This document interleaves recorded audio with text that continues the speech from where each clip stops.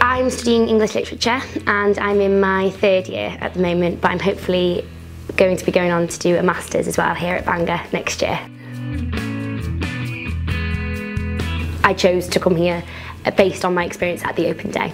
the weather forecast for the open day was supposed to be horrendous and we were driving up to Bangor and it was the most beautiful sunny day and I could see the sea and the mountains and I thought just the location in itself looked beautiful. So I knew that was definitely a selling point for me.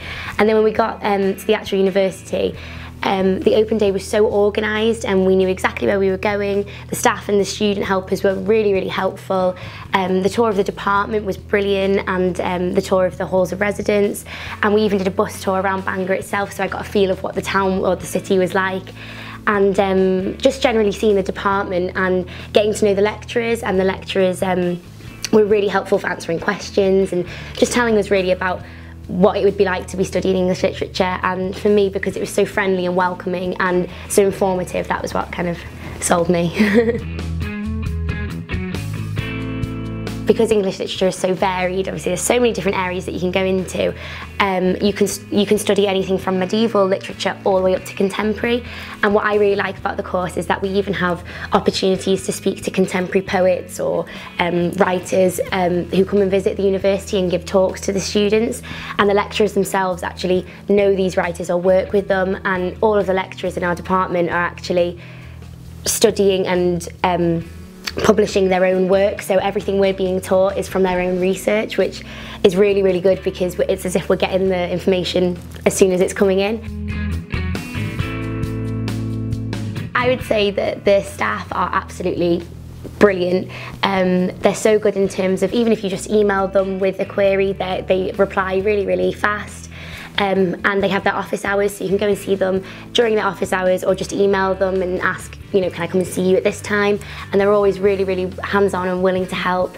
Um, they help so much in terms of uh, the seminars and lectures as well. They give you lots of information, but they don't overload you with it, so it's not scary. In, in sixth form, I was used to having small groups of um, classes, and that's why I, like learning in that way. I don't like the idea of being in a massive um, seminar with lots and lots of different people. Um, we're always put into smaller seminars where the lecturer will know each of us individually. Um, we're not just a number in a crowd, so I think the my favourite thing is that you feel part of like a collective team and obviously you're alongside people that um, have got the same interests as you and they like the same stuff that you do. Um, so I would say yeah, my favourite part of the course is probably um, how it's catered for everybody and how the lecturers are so willing to make you feel part of the part of a team.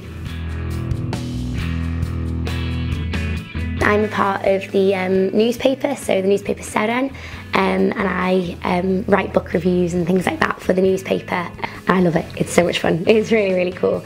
Um, but there's so many, there's so many different societies that you can join, and I have looked at different ones since I've been, in, you know, obviously I'm in my third year now, so I have like tried different ones. But um, the newspaper stands out for me. That's been my favourite, and it's great because they're all free as well. So.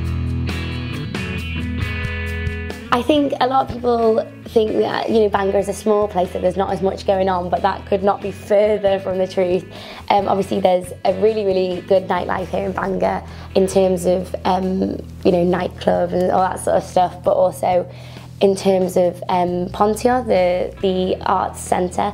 Um, I really, really, really have an avid interest in theatre, so I really enjoy going to um, see different productions, and there's always travelling productions from all over Wales or all over the UK, which is great, so it's nice to have an opportunity to see lots of different things, um, and also things to do with university, so for example, recently I've just been to um, the university's orchestra um, to see that, I've never been to anything like that, I've been to see ballets and all things that I've never seen, and and um, it's great. It's a really nice way to, I know, Pontio to bridge the, um, the community with, um, with the university. So, um, and also I'd say as well socially, another thing that I really love doing is exploring the area because obviously there's trains and bus services that can take you all over North Wales and north, north of England and um, it's great to get out and see the, um, the landscape really because it's such a beautiful place to, to live.